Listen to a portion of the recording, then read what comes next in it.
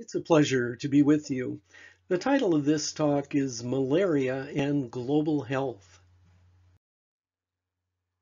There are no disclosures for this presentation.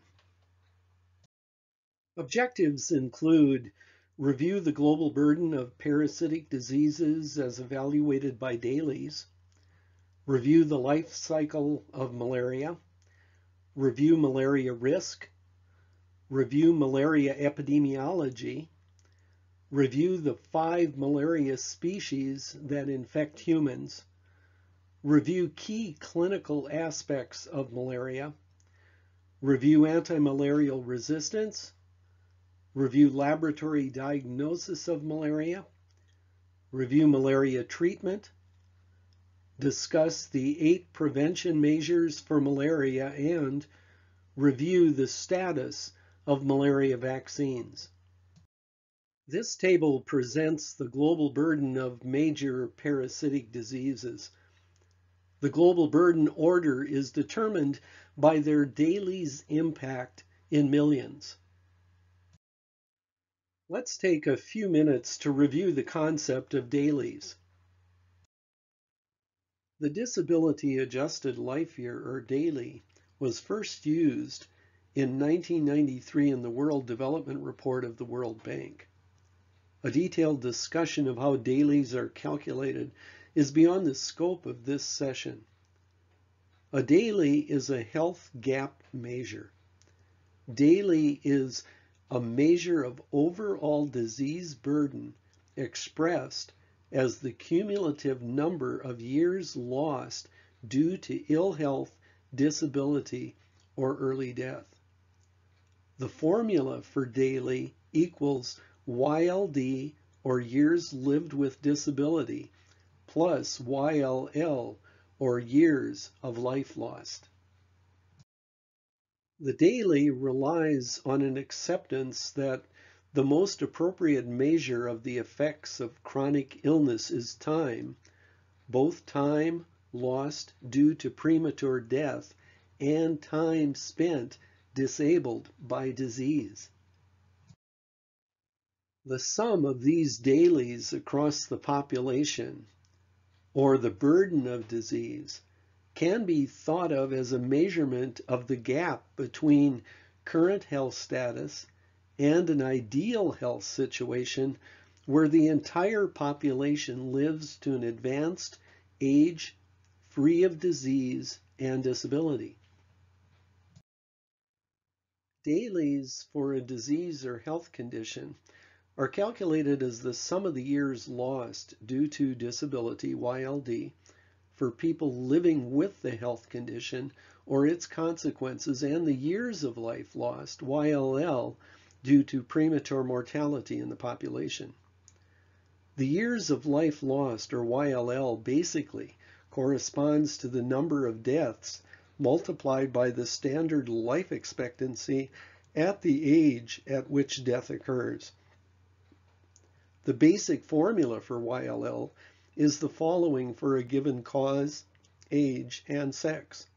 YLL equals N times L, where N equals the number of deaths due to a disease L equals standard life expectancy at age of death in years at the age at which death occurred due to this disease in the population. To estimate YLD for a particular cause in a particular time period, the number of incident cases I in that period is multiplied by the average duration of the disease L and a weight factor, DW, that reflects the severity of the disease on a scale from zero, perfect health, to one, dead. The basic formula for YLD is incident YLD equals I times L times DW, where I equals number of incident cases, L equals average duration of the case until remission or death in years, dW equals disability weight. A prevalence YLD is based on prevalence rather than incidence. The formula for a prevalence YLD is prevalence YLD equals P times DW, where P equals the number of prevalent cases and DW equals the disability weight. The original Global Burden of Disease study and WHO updates for years 2000 to 2004 also applied several social value weights in the calculation of DALYs for diseases and injuries. Apart from the disability weights, these also included time discounting and age weights. For more information on the social value weights that are applied to the calculation of DALYs, please see the reference listed on this slide. When calculating DALYs, health conditions are generally divided into three categories. Group 1, communicable, maternal, and perinatal conditions occurring within the first week after birth, and nutritional disorders. Group 2, non-communicable diseases. Group 3, injuries like road traffic accidents, self-inflicted injuries, and violence. A country or group that has more DALYs in the three groups of health conditions listed is considered less healthy than others with less DALYs. A goal of health policy is to reduce the number of DALYs in the most cost-effective manner possible. DALYs and other composite indicators give a better estimate than measuring deaths alone of the true health of a population. DALYs are often used in global health planning processes, providing excellent measures of overall health status. Calculation of DALYs requires prevalence and incidence data that are not always readily available in resource-poor countries. Therefore, health expectancy measures to assess health status are still commonly used in developing countries versus DALYs. The top 10 parasitic diseases ordered by their impact on DALYs include malaria at the top of the list with a DALY impact of 65.5 million, followed by cryptosporidiosis at 8.4, leishmaniasis at 4.3, foodborne trematodiases at 3.6, schistosomiasis at 3.1, hookworm and amoebiasis both at 2.2, lymphatic filariasis at 2.0, ascariasis at 1.3, and congenital toxoplasmosis at 1.2. Malaria infects approximately 198 million people, resulting in over 580,000 deaths annually. Malaria is one of five major causes of death in children under five in developing countries. The five major causes of death in children under five are malaria, malnutrition, diarrhea, pneumonia, and HIV AIDS. In the Gambia from 1960 to 1990, one out of every 25 children under five years old died of malaria. There are five species of malaria that infect humans. Plasmodium vivax, Plasmodium ovale, Plasmodium malariae, Plasmodium falciparum, and Plasmodium knowlesi. Plasmodium knowlesi was thought to be a parasite of macaque monkeys and was used in the past to treat syphilis by inducing a fever in humans. It has now become one of the most common causes of human malaria in Malaysia and other Southeast Asian countries. 10% of Knowlesi infections are severe. 1 to 2% of Knowlesi infections are fatal. This is the life cycle of malaria. There are essentially three phases in the malaria life cycle. Sporogony, exoerythrocytic schizogony, and erythrocytic schizogony. The mosquito phase is where the parasite forms sporozoites that are infectious for humans from gametocytes through a process called sporogony. This mosquito phase is the sexual phase of the parasite. This process of transforming gametocytes into sporozoites takes place within oocysts attached to the stomach wall of the mosquito. Sporozoites are then transmitted to humans via a mosquito bite. The sporozoites are then transmitted to the liver through the bloodstream. The human phase are the asexual phases of the parasite. In liver cells, the sporozoites produce merozoites that are then released into the bloodstream to invade red blood cells.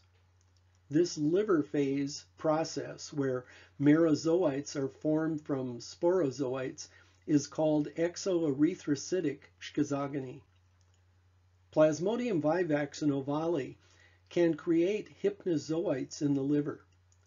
Latent organisms that can remain dormant for months to years within liver cells and then develop into merozoites months to years later, causing symptoms of malaria long after leaving a malarial area and being free of malaria symptoms. Plasmodium falciparum and malariae don't develop hypnozoites, therefore don't have a latent phase like vivax and ovale. The blood phase is a cycle where merozoites from the liver enter red blood cells and transform to trophozoites and then schizonts that are composed of many merozoites. These schizonts eventually burst, releasing merozoites into the bloodstream that subsequently enter more red blood cells. Eventually, after several cycles of merozoites, trophozoites, and schizonts, gametocytes are formed that are infectious to mosquitoes when they bite an infected human, completing the entire life cycle. This blood phase of the malaria life cycle is called erythrocytic schizogony. Almost all malaria drugs treat the blood phase of malaria. As previously mentioned, Plasmodium vivax and ovale leave latent hypnozoites in the liver that can reemerge as a malaria relapses months to years later. Primaquine treats the hypnozoites in the liver. So after treating the blood phase of vivax and ovale, treatment with primaquine will eliminate the hypnozoites in the liver and prevent future relapses. The upper left picture is of a Plasmodium falciparum trophozoite, classic ring form, in a red blood cell. These trophozoites are part of the erythrocytic schizogony cycle and after several cycles can transform into a gametocyte that is infectious for mosquitoes that bite an infected human. There is also a classic banana-shaped gametocyte noted by the right arrow in another red blood cell. These banana-shaped gametocytes are only seen with Plasmodium falciparum. The lower left picture demonstrates a schizont, a vivax. The schizont is loaded with little dots called merozoites. When the schizont ruptures, these merozoites disseminate into the bloodstream with each one infecting another red blood cell. The lower right picture shows a vivax gametocyte that, like the banana-shaped gametocyte of Plasmodium falciparum, is infectious for a mosquito when biting an infected human.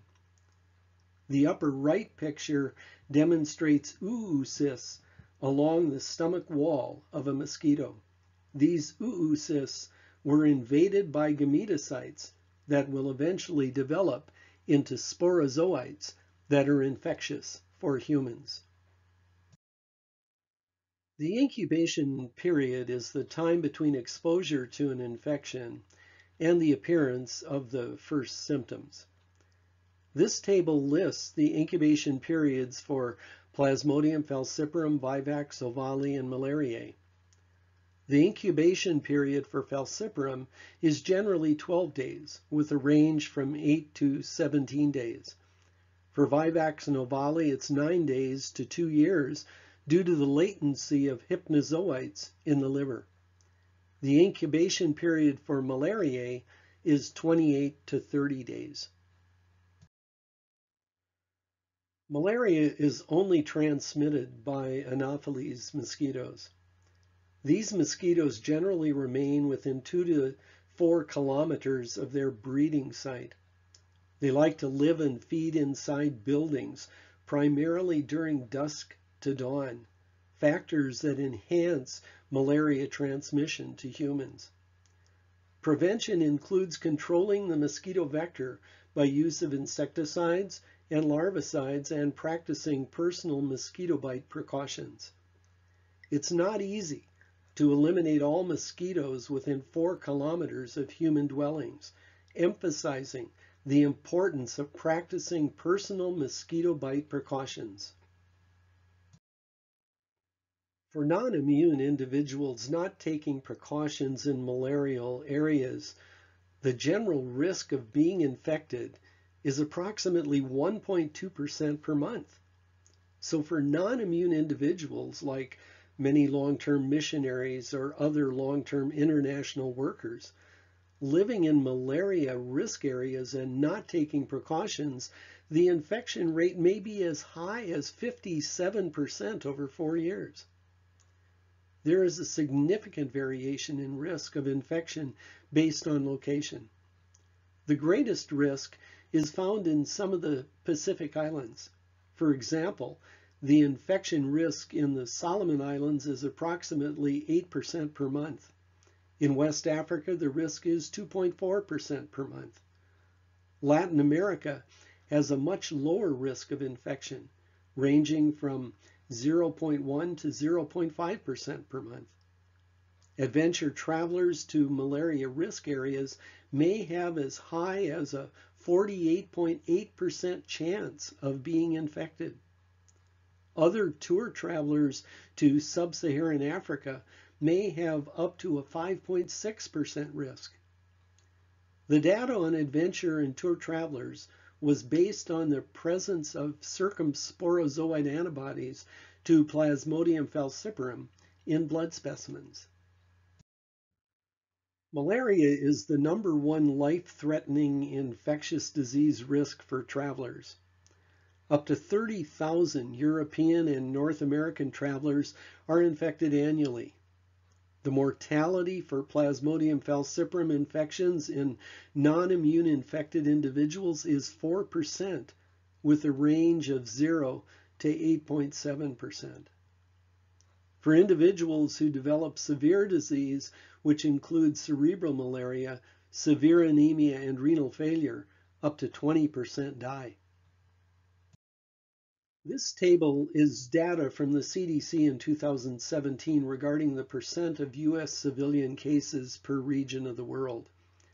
67.1% of malaria cases diagnosed in U.S. civilians reported in this 2017 report came from sub-Saharan Africa, with 11.9% from the Caribbean, Central and South America, 7.9% from Asia, and 0.3% from the Middle East.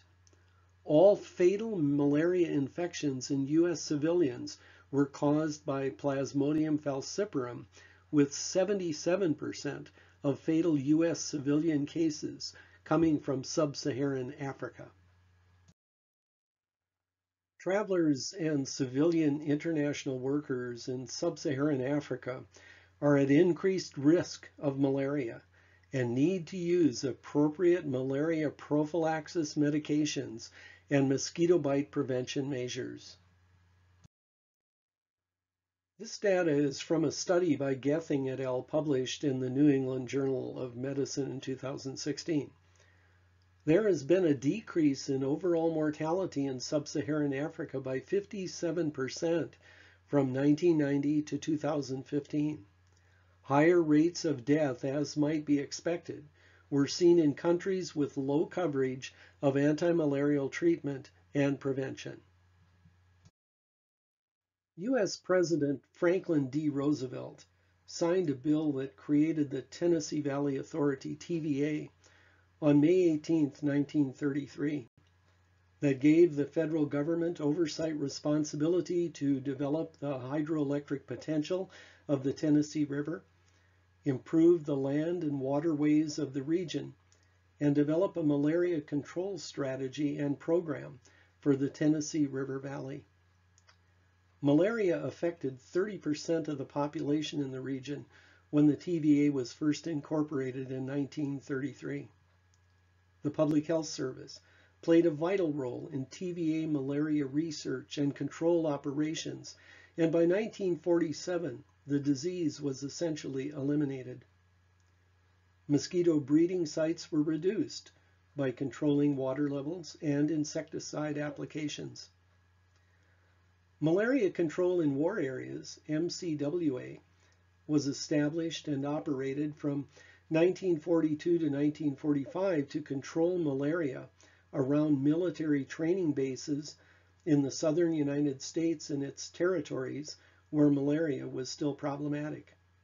Many of the bases were established in areas where mosquitoes were abundant. The MCWA aggressively tried to control mosquitoes that could feed on malaria-infected soldiers in training or returning from malaria endemic areas. During this time, the MCWA also trained state and local health department officials in malaria control techniques and strategies. The Centers for Disease Control and Prevention, CDC, developed out of the work and structure of the MCWA and was organized on July 1, 1946, and initially called the Communicable Disease Center. Much of the early work done by CDC was concentrated on the control and elimination of malaria in the United States. With the successful reduction of malaria in the United States, the CDC transitioned its primary mission from malaria to the general prevention, surveillance, and control of other diseases, both domestically and internationally. The CDC still works to control malaria internationally. These maps show the progress of malaria control from 1900 to today and some projections for the future. Red indicates high prevalence of infection and risk. Pink represents areas in the process of controlling the disease. Blue indicates areas that have controlled malaria for greater than three years. In 1900, malaria was worldwide. By 1970, Europe and North America had essentially become malaria-free. In 2020, malaria is still a major health issue in South America, Sub-Saharan Africa, South and Southeast Asia, and the Western Pacific Islands. By 2040, the world could be malaria-free if adequate malaria control resources are committed to the effort. This lists some key epidemiologic facts associated with malaria transmission. Major cities in Asia and South America are nearly malaria-free. Cities in Africa, India, and Pakistan are generally not malaria-free. There is less risk of malaria at altitudes over 1,500 meters, or 4,500 feet, above sea level. Above 1,500 meters, there is a marked decrease in the sporogony phase of the malaria cycle in Anopheles mosquitoes, decreasing the production of sporozoites that are infectious for humans. The sporogony phase ceases at 2,000 meters altitude. The United States still has mosquito vectors that can transmit malaria, so local transmission still occurs occasionally, but is relatively rare. This is information from an MMWR article published in 2006 regarding locally acquired malaria in the United States, showing the number of cases acquired by year from 1957 to 2003. Notice the marked number of cases seen from 1985 to 1989. This is from the same MMWR report in 2006, showing most cases of locally acquired malaria in the United States were reported from California, New York, Georgia, and Texas. In that 2006 report, the most common species of malaria locally transmitted in the U.S. was Plasmodium vivax, followed by Plasmodium falciparum. Plasmodium falciparum is the species of malaria most associated with severe disease. Let's consider key information about Plasmodium falciparum for a few minutes.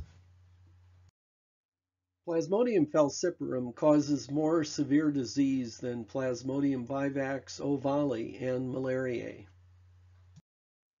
Complications from malaria are different for different ages and conditions. This table looks at three groups of individuals and complications associated with Plasmodium falciparum. Non-pregnant adults have more jaundice, renal failure, and pulmonary edema. Children experience more anemia, seizures, and hypoglycemia.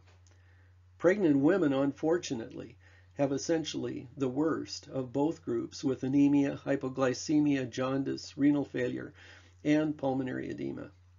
Pregnant women have fewer seizure complications compared with children. Pregnancy and malaria is not a good combination.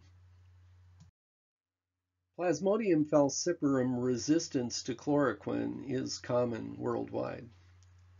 There are some chloroquine sensitive areas still in Latin America, South America, the Middle East, and Egypt.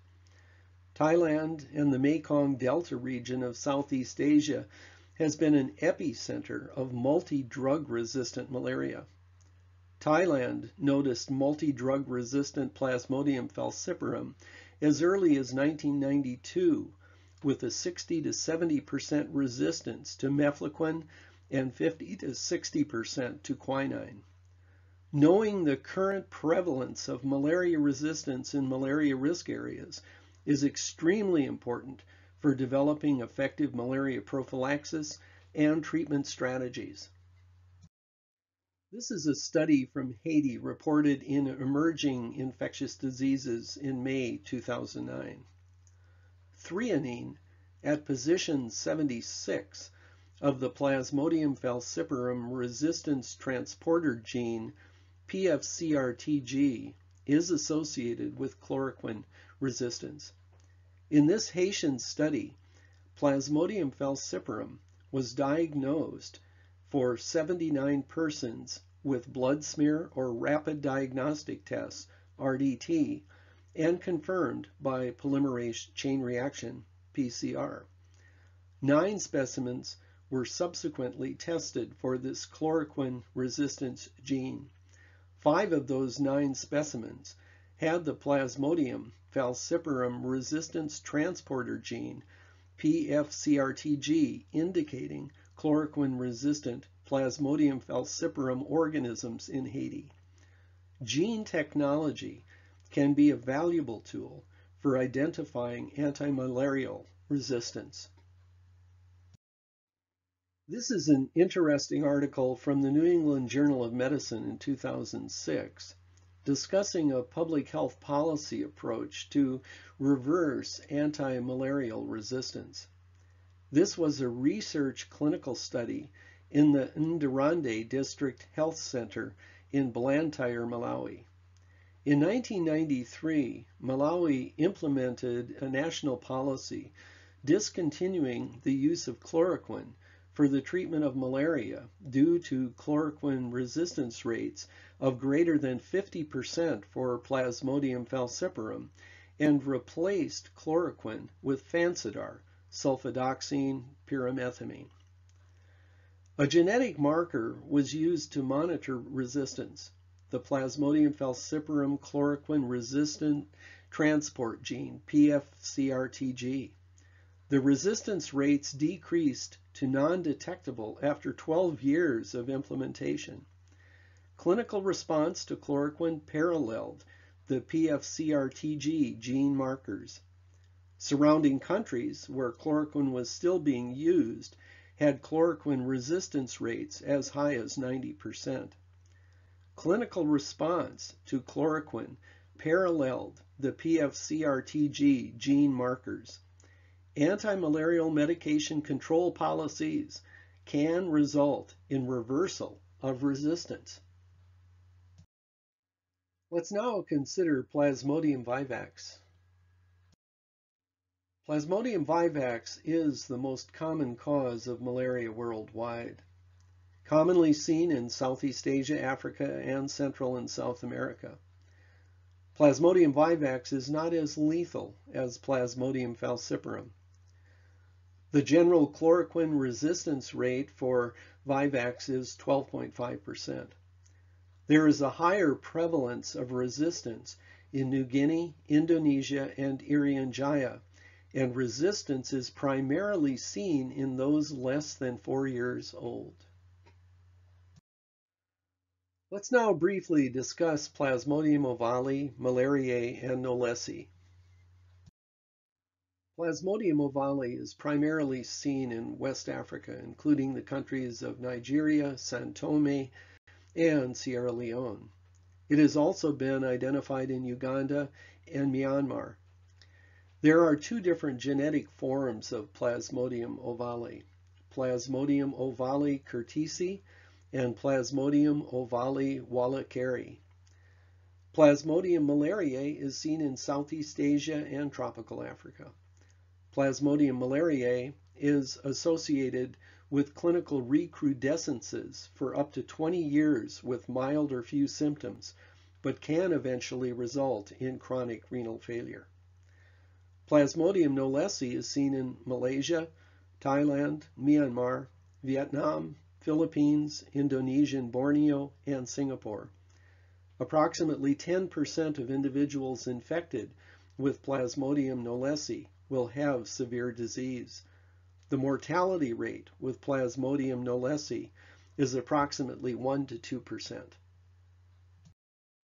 Malaria commonly presents with flu-like symptoms of fever, headache, arthralgias, particularly backache, vomiting, and mild diarrhea. Fever spikes are initially irregular, but then transition to spike in a regular tertiary or quartan pattern. Diarrhea can confuse clinicians who may look for a gastrointestinal cause for the illness versus malaria.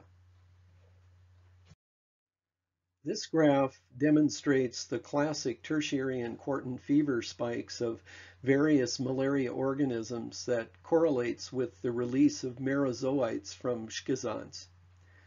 Plasmodium falciparum, vivax, and ovale spike in a tertiary pattern day 1 and then days 3, 5, 7, etc.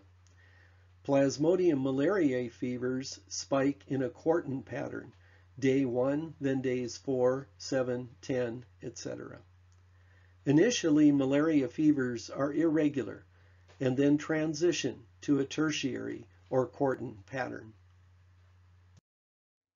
Fever is generally associated with the parasite load with temps greater than 38.5 centigrade associated with parasitemia greater than 180 per microliter. Yet the fever threshold varies with the infecting strain of malarial organisms. As reported in 2002 in the American Journal of Tropical Medicine and Hygiene, Plasmodium falciparum strain A on this slide had a fever threshold of 75 organisms per microliter versus strain B with a threshold of 1800 organisms per microliter. Fever in tropical areas, particularly in rural clinics, is often diagnosed as malaria and presumptively treated. Is malaria the main cause of fever in malaria endemic areas? A Tanzanian outpatient clinical study of fever in children under 10 years old was reported in the New England Journal of Medicine in 2004. Fever was defined as a temperature of 38 degrees centigrade or higher. The patients came from two outpatient clinics, one rural, one urban. Evaluation consisted of a clinical examination and blood and nasopharyngeal specimens for rapid diagnostic tests, serology cultures, and molecular tests. This table summarizes the results of that study of Tanzanian children with fever. 10.5% had malaria, leaving 89.5% with other etiologies for their fever. Acute respiratory infection was by far the most common cause of fever, followed by systemic infection other than malaria or typhoid fever at 13.3%. Typhoid fever was the cause of fever in 3.7%. So malaria may not be the major cause of fever in children in malaria endemic areas. This study was of Tanzanian children, but likely could apply to many other regions of the world. The World Health Organization's definition of severe malaria includes cerebral malaria that presents with unarousable coma, severe anemia that includes a low hemoglobin, less than 5, low hematocrit, less than 15, high parasite counts greater than 10,000, and the percent of red blood cells that are infected. Increased fatality is seen when greater than 2% of red blood cells are infected. Plasmodium vivax ovale and malariae almost never have more than 1% of red blood cells infected. Renal failure also defines severe malaria. Plasmodium falciparum is the most common malaria species causing severe malaria. Other signs and symptoms of severe malaria include pulmonary edema or adult respiratory distress syndrome, hypoglycemia less than 40 milligrams per deciliter. Hypoglycemia is more common in pregnant women treated with the anti-malarial drug quinine that increases insulin release, which decreases blood glucose levels. Children tend to have more hypoglycemia than adults. Circulatory collapse or shock. That would include a systolic blood pressure of less than 50 for children 1 to 5 years old or less than 70 for adults. Spontaneous bleeding or lab evidence of disseminated intravascular coagulation. Repeat general seizures greater than 2 per 24 hours. Acidosis with an arterial pH of 7.25 and bicarbonate level of less than 15 millimoles per liter, and macroscopic hemoglobinuria. Other clinical complications of malaria include nephrotic syndrome. Nephrotic syndrome is more commonly seen in children with malaria than adults. Nephrotic syndrome has been described with Plasmodium malariae due to antigen antibody complexes that develop during the chronic nature of infection with this organism. Plasmodium malariae infections can last up to 20 years. This is a summary of a study reported in the American Journal of Tropical Medicine and Hygiene in 2002 that pointed out the association of thrombocytopenia with death in children. This was a study of 0 to 15 year olds in Senegal, West Africa. When those kids had platelet counts less than 100,000 per cubic millimeter, the odds ratio for death was 6.31 or 6.31 times higher than those with normal platelet levels. Another study reported in May 2011 in the journal Emerging Infectious Diseases demonstrated that thrombocytopenia is almost universally seen in children with Plasmodium knowlesi infections.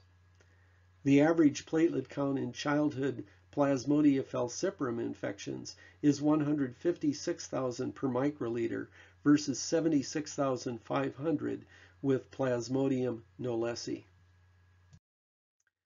This is the summary of a 2014 article from the New England Journal of Medicine. They studied 802 Tanzanian children with malaria. Of those 802 children, 102 had severe malaria. More than half of the severe malaria cases occurred after the second malaria infection. Generally, parasite levels were higher when children had severe versus mild disease, but not consistently. The incidence of severe malaria decreased considerably after infancy. Severe malaria risk and increased parasite density was associated with non-use of bed nets, placental malaria at the time of a woman's second or subsequent pregnancy, high transmission season, and absence of sickle cell trait. Sickle cell trait is a malaria protective factor. Cerebral involvement is the major cause of mortality with malaria infection. Coma is the most frequent manifestation of severe malaria. Seizures are seen in about 50% of cerebral malaria cases. Symptoms and signs of cerebral malaria are caused by endothelial damage and vasculitis of small blood vessels in the brain. Plasmodium falciparum develops sticky knobs on infected red blood cells as pictured. These knobs adhere like glue to the endothelial lining of blood vessels and obstruct blood flow and cause vasculitis, causing cerebral signs and symptoms. In cerebral malaria, no organisms are found in cerebrospinal fluid specimens since there is no invasion of brain tissue or meninges. Cerebral malaria is a vascular disease. Acute renal failure can be seen with malaria and is most commonly seen with Plasmodium falciparum, but can also be seen with Plasmodium vivax and Plasmodium malariae. Blackwater fever can be seen prior to the onset of renal failure and is due to hemolysis of infected red blood cells, causing dark brown urine due to the myoglobin release during the process of red cell destruction. Most individuals with blackwater fever resolve without complications, but some may progress to renal failure. An ominous sign of serious renal problems is oliguria or decreased urine output. Treatment of a patient who has glucose 6-phosphate dehydrogenase G6PD deficiency with primaquine or the use of quinine in treating severe disease, often in subtherapeutic doses, can lead to renal failure. Primaquine increases oxidative stress, resulting in enhanced hemolysis of G6PD deficient red blood cells. Primaquine associated hemolysis in G6PD deficiency is dose dependent. One dose will likely not cause problems, but multiple doses, like the 14-day therapeutic course used to treat the latent hypnozoite phase of Plasmodium vivax and Plasmodium ovale, may be associated with a significant risk of hemolysis. These latter patients should be screened for G6PD deficiency before treating with primaquine. G6PD deficiency is an X-linked inherited genetic mutation conferring varying degrees of G6PD deficiency to affected individuals. G6PD deficiency is prevalent throughout malaria endemic regions. Primaquine is the only available antimalarial drug that kills the dormant liver phase of Plasmodium vivax and Plasmodium ovale, preventing relapse and providing a radical cure. It is also the only generally available antimalarial that rapidly sterilizes mature Plasmodium falciparum gametocytes that are the infectious form of Plasmodium falciparum for the mosquito. Chronic malaria is likely due to recurrent infections in endemic areas. Symptoms and signs of chronic malaria include anemia and splenomegaly. Splenomegaly is common in children in endemic areas and is a good estimate of malaria prevalence. Splenomegaly is due to an exaggerated immune response. Splenomegaly responds to antimalarial therapy. This chronic splenomegaly caused by malaria is commonly referred to as tropical splenomegaly syndrome. Malaria infection during pregnancy is associated with an increased mortality and low birth weight for the baby. Congenital transfer of malaria via blood can occur during pregnancy causing congenital malaria in the baby. This is primarily associated with Vivax and occurs in 16 to 34% of cases where the mother is infected. Since the blood phase of malarial organisms are the only ones transferred to the baby during pregnancy, the baby has no latent hypnozoites when the mother is infected with Vivax or Ovale. Therefore, the baby will only need to be treated with antimalarials that treat the blood phase of the organism.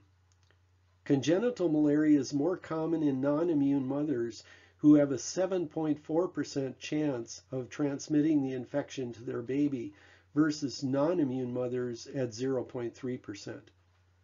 The onset of symptoms in congenital malaria is approximately 3 to 5.5 weeks post-birth. Treatment would be an appropriate blood phase antimalarial drug. Major complications of malaria are more common in women during their first pregnancy, primiparous pregnant women. Major malaria complications in pregnancy include hypoglycemia, anemia, and pulmonary edema or adult respiratory distress syndrome. Malaria is a major concern for pregnant women in malaria endemic areas. Pregnant women should avoid travel to malaria endemic areas. The gold standard for the lab diagnosis of malaria is seeing the organisms on thin and thick smears. Polymerase chain reaction PCR is a helpful test that can provide results within several hours. PCR in many reference labs like the CDC lab has a sensitivity and specificity of essentially 100%. PCR can differentiate malarial species. PCR may be most helpful in Plasmodium vivax, ovale, and malariae since they tend to have much lower parasite counts than falciparum. This is particularly true of malariae with very low counts for up to 20 years and minimal symptoms. Let's briefly discuss rapid diagnostic tests for malaria. There are at least 30 plus malaria rapid diagnostic tests, RDT kits, available. Sensitivity ranges from 65 to 97% and specificity from 87 to 100%. Sensitivity and specificity of RDTs are still below that of microscopy. RDTs are helpful where high quality microscopic services are not readily available. A major advantage is that results can be provided within 10 to 15 minutes for many of these kits. There are several disadvantages. RDTs may not detect low parasite counts. Low parasite counts are not unusual for Plasmodium vivax, ovale, and malariae. There is incomplete data on the ability of RDTs to detect Plasmodium ovale and Plasmodium malariae.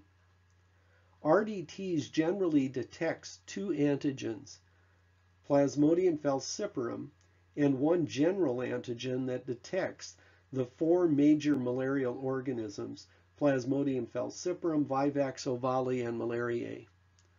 All negative RDTs must be confirmed by microscopy.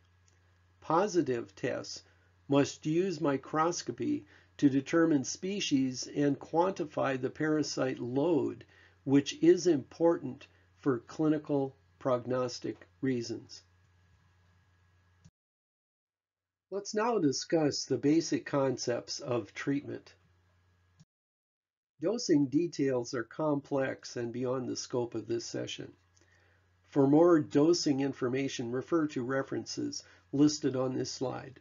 The Red Book, Report of the Committee on Infectious Diseases, American Academy of Pediatrics, and the CDC Malaria Treatment Guidelines. This table lists commonly used medications for treating malaria. All medications treat the blood phase except primaquine that focuses on the latent phase hypnozoites in the liver for Plasmodium vivax and ovale. Blood phase medications include chloroquine and hydroxychloroquine, atovaquone proguanil, brand name Malarone, artesunate, doxycycline, tetracycline, clindamycin, artemether, lumefantrine, brand names Coartem and Riamet, quinine, quinidine, and mefloquine. The five medications used for prophylaxis or to prevent malaria include mefloquine, chloroquine, doxycycline, atovaquone proguanil, Malarone, and primaquine. Choice of medication, dose, and route of administration is dependent on several factors, including severity of the illness, age, underlying medical conditions, i.e. pregnancy, G6PD status, etc., anti-malarial resistance patterns for the region, and the malaria species being treated. This table lists other potentially promising antimalarials. Tafenoquine is related to primaquine and has been used to treat several patients successfully with Plasmodium vivax. Amodiaquine is a 4-aminoquinolone that has been used to treat Plasmodium falciparum. Spiroindolone was demonstrated to clear Plasmodium vivax and falciparum faster than artesunate in a study in Thailand. Imidazole piperazine is active against the blood and liver stages of malaria and has been studied in adults with uncomplicated Plasmodium vivax and falciparum. Let's spend a few minutes discussing antimalarial drug resistance. There are four categories of resistance, none, R1, R2, or R3. The red line represents no resistance. In this situation, organisms decline to zero with treatment and stay that way as seen by no organisms detected at 7 or 28 days. R1 resistance is the yellow line and R2 resistance the green line. In R1 resistance, the organisms decline rapidly, often up to 75% within 48 hours, but never approach zero. So all the organisms aren't eliminated, and within seven days rise in R2 and in 28 days for R1. This rise in R1 and R2 resistance is a recrudescence of the infection since the organisms were never totally eliminated from the body by treatment. Recrudescence occurs when the organism is never eliminated from the blood. This can occur with all malarial organisms. Relapse is where the organism is eliminated from the blood but later reemerges from the liver. Relapse can only occur with Plasmodium vivax and ovale that have latent hypnozoites in the liver. R3 resistance is essentially seen when there is no response to treatment. You can see the importance of checking parasite counts at 24 and 48 hours, but also at 7 and 28 days to determine if there is resistance and of what type. Artemisinin compounds are major drugs used to treat Plasmodium falciparum infections, including severe disease. Artemisinin resistance for Plasmodium falciparum is increasing across mainland Southeast Asia, mainly from southern Vietnam to central Myanmar. This resistance is due to mutation of the propeller region of chromosome 13 called Kelch 13. Prolonged courses of artemisinin-based combination therapies, artesunate times three days, then three days of dihydroartemisinin piperaquine, are currently efficacious. At 42 days, the failure rate was 2%. A three-day course of dihydroartemisinin piperaquine had a failure rate of 25%. Let's consider antimalarial efficacy for a few minutes. This is a study published in 2005 of the efficacy of a variety of antimalarial regimens used to treat uncomplicated malaria in two communities of Angola in 2002 and 2003. As expected, the chloroquine failure rate was high at 83.5% due to chloroquine resistance. Fansidar, which is a combination of sulfadoxine and pyrimethamine, had a moderately high failure rate of 25.3%. Due to this moderately high failure rate, Fansidar is no longer recommended for malarial treatment. Amodiaquine as monotherapy had a moderate failure rate of 20%. The artemisinin-based combinations, which added amodiaquine or Fansidar, had a very low failure rate of 1.2%. The artemisinin combination regimens have a much lower failure rate in the treatment of uncomplicated malaria in this area of West Africa. This table shows the efficacy of four antimalarial regimens used to treat Plasmodium falciparum. Malarone was 100% effective versus 81 to 88% for mefloquine, amodiaquine, and chloroquine plus Fansidar. This table reviews the results of several studies regarding the treatment of multi-drug resistant malaria in Thailand. All of these treatment regimens were quite effective, with efficacy ranging from 95% with the combination drug artemether lumefantrine to 98 to 100% with quinine plus doxycycline and atovaquone proguanil malarone. There was an increased recurrence noted when artesunate was used alone. Therefore, the World Health Organization recommends using a combination of artemisinin with a second agent to avoid recurrence and the emergence of resistance. So currently, there are good regimens to treat uncomplicated and multi-drug resistant malaria. Let's now turn our attention to the prevention of malaria. Simple prevention techniques can be 98% effective in preventing malaria. These prevention strategies will also significantly impact not only malaria, but many other mosquito-borne illnesses.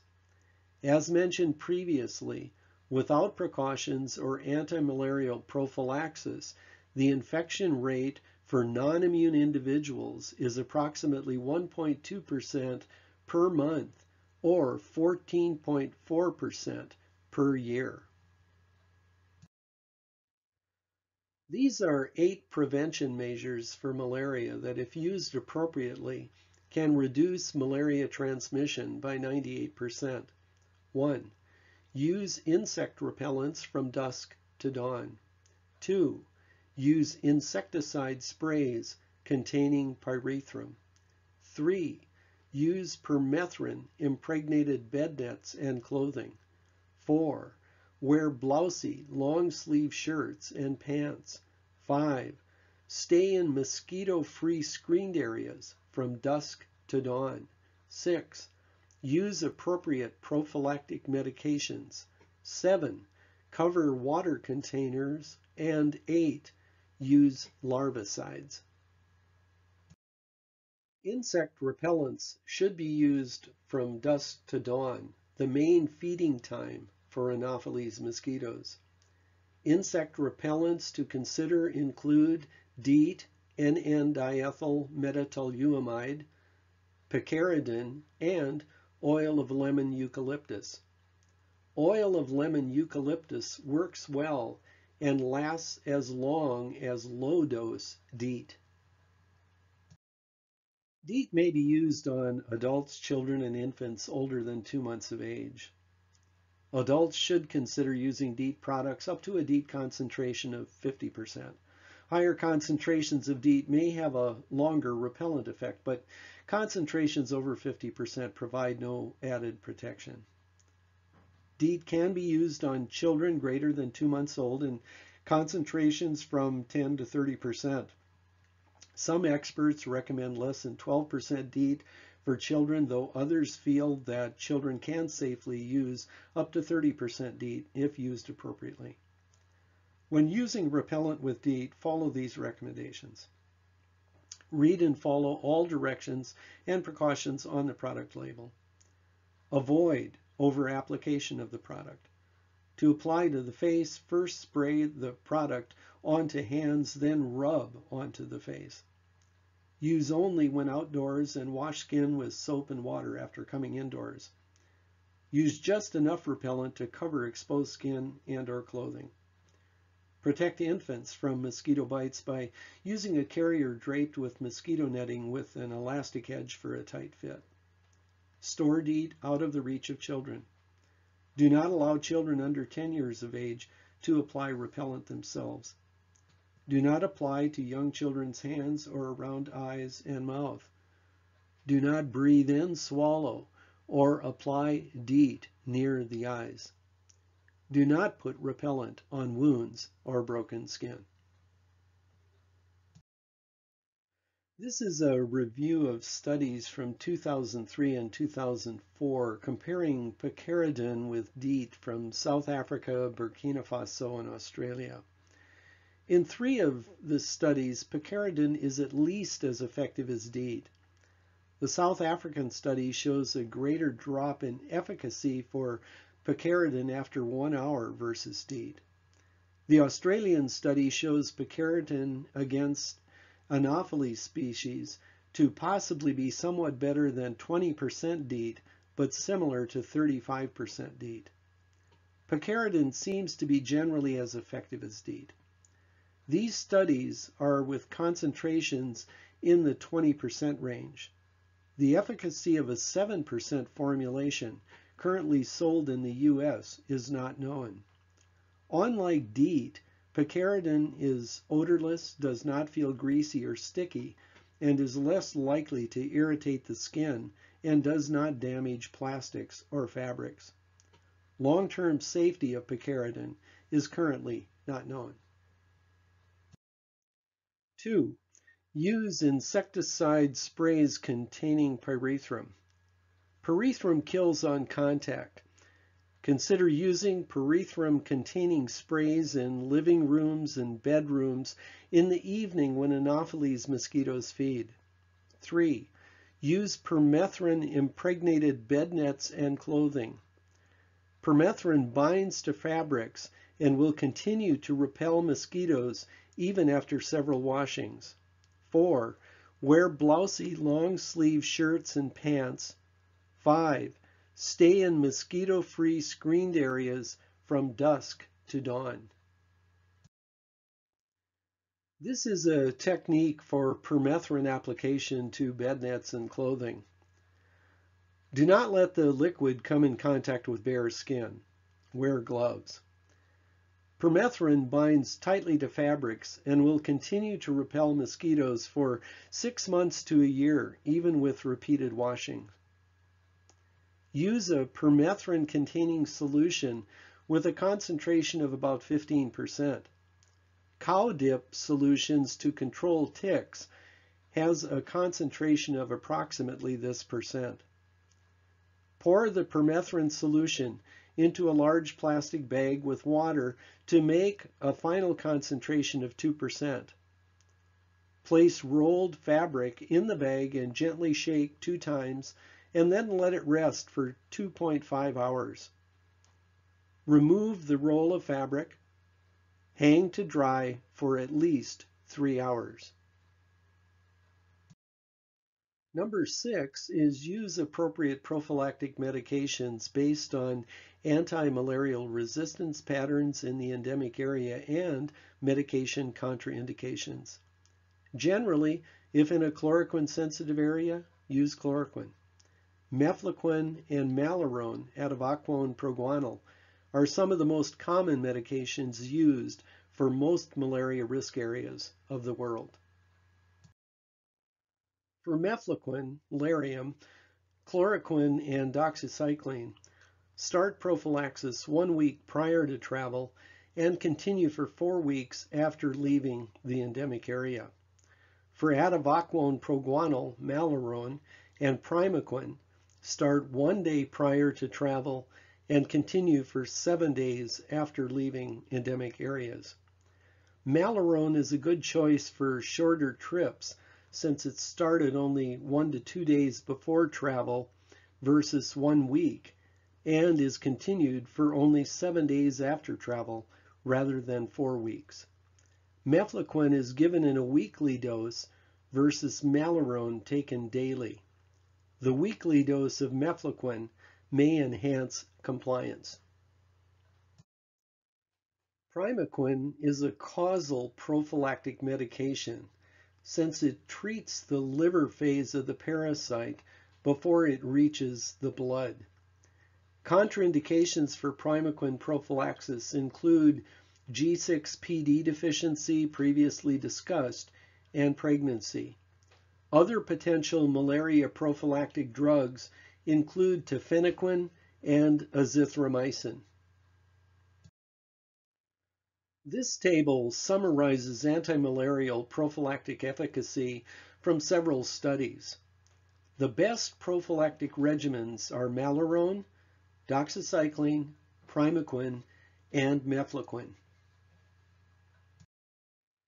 Many individuals complain of mefloquine adverse reactions.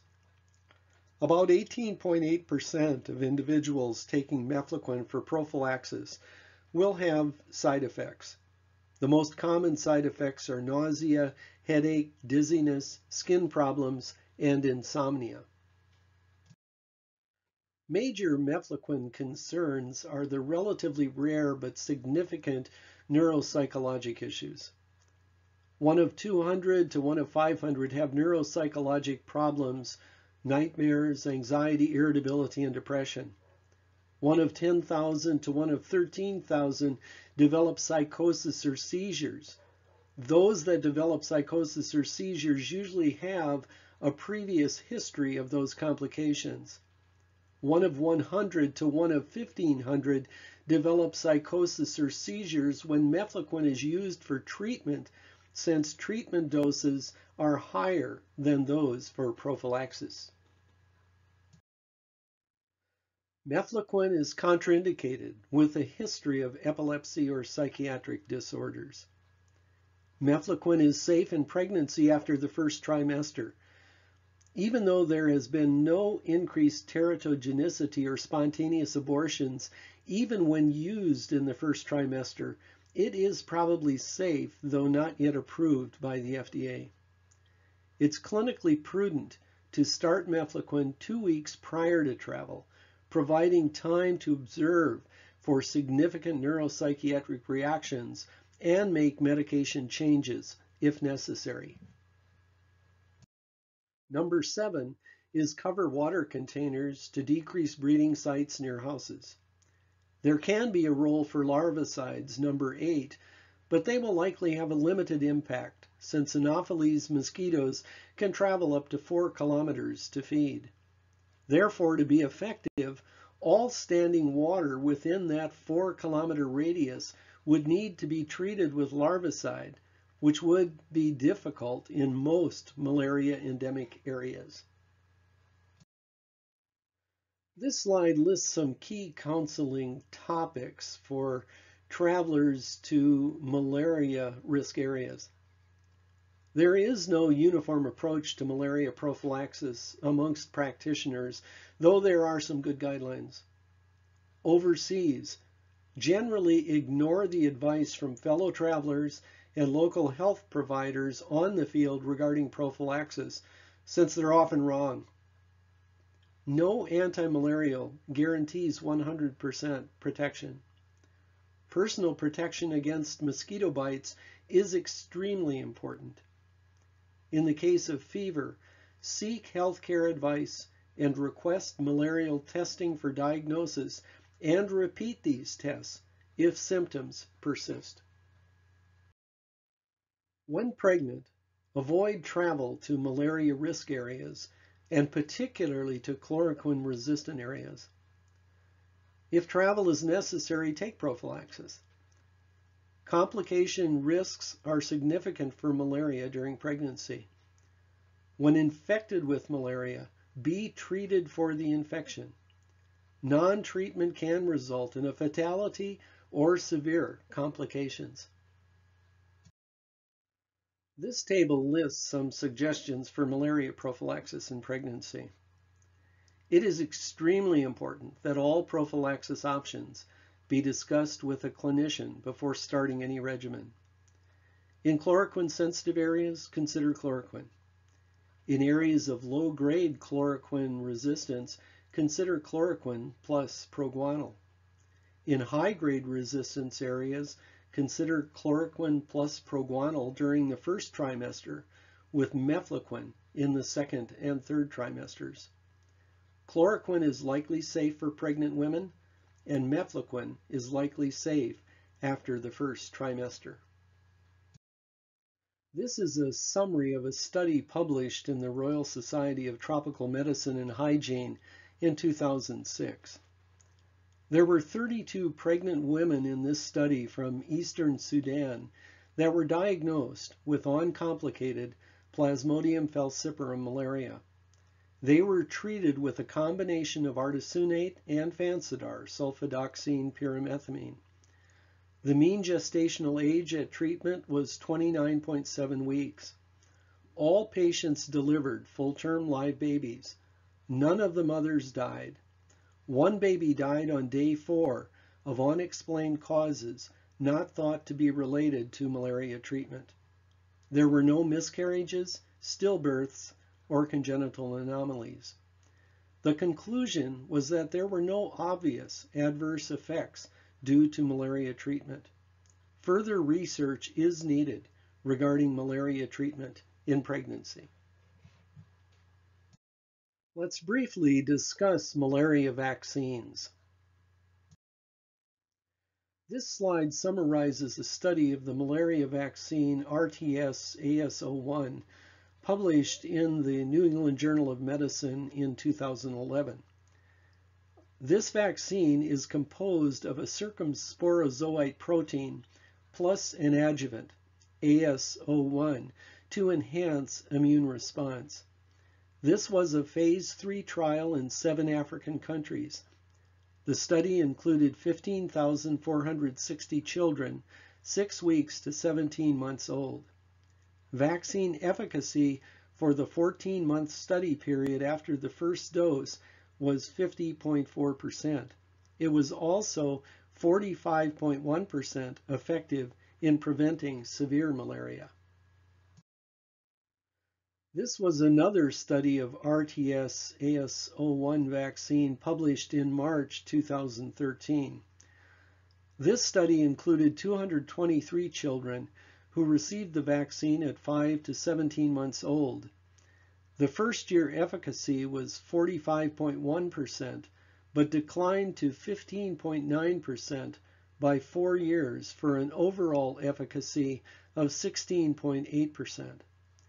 Anti-circumsporozoite antibodies were higher in vaccinated children than in control children, but the antibody titers declined over the study period. This study raises the question of a need for booster doses to maintain immunity. This is a summary of a study of an attenuated sporozoite vaccine PFSPZ for Plasmodium falciparum published in 2016. This vaccine was developed by Sanaria Incorporated. This study was funded by the National Institute of Allergy and Infectious Diseases. This was a phase one trial. The vaccine provided protection for over one year. Will this immunity last or decline, like the RTS-AS01 vaccine? Much research is still needed regarding vaccines for malaria. This slide is adapted from global malaria strategies developed by the U.S. Agency for International Development, USAID. USAID suggests two major categories of global intervention to support malaria control, technical and research and innovation. Technical interventions would include indoor residual spraying with insecticides programs, the organized timely spraying of an insecticide on the inside walls of houses or dwellings to kill adult mosquitoes before they can transmit malaria parasites to another person. Distribution of impregnated bed nets and education on their appropriate usage. Insecticide treated mosquito nets hung over sleeping areas protect people by repelling mosquitoes and killing mosquitoes that land on those nets. Intermittent preventive treatment for pregnant women involves the administration of anti-malarial drugs to pregnant women at each prenatal visit, which protects them against maternal anemia and reduces the likelihood of low birth weight and perinatal death in their infants. Diagnosis and treatment programs entails diagnostic testing for malaria to ensure that all patients with malaria are properly identified and receive a quality assured artemisinin-based combination therapy, ACT. Seasonal malaria chemoprevention programs is an approach used to prevent malaria among young children in parts of the African Sahel subregion with highly seasonal malaria transmission. It entails the administration of a curative dose of anti-malarial drugs at monthly intervals to children without malaria symptoms in a targeted area over a limited transmission season. Cross-cutting interventions include social and behavioral change communications, operational research, health system strengthening, and surveillance monitoring and evaluation. Research and innovation includes drug efficacy monitoring programs to document the emergence of anti-malarial resistance, research to develop effective malaria vaccines, identify novel insecticide-based vector control tools, and develop new anti-malarial drugs. In summary, malaria is a major global parasitic disease. Plasmodium falciparum is the major cause of severe malaria. Plasmodium vivax is the most common cause of malaria worldwide. Plasmodium vivax and ovale may cause relapses of disease. Chloroquine resistance is worldwide. Pregnancy is associated with increased malaria complications. Prevention measures can be 98% effective in preventing malaria. More research is needed for malaria vaccines. Take your public health practice skills to the next level. Our specialized certificate courses give you an opportunity to work systematically through a public health topic and demonstrate your understanding of that material in a capstone project.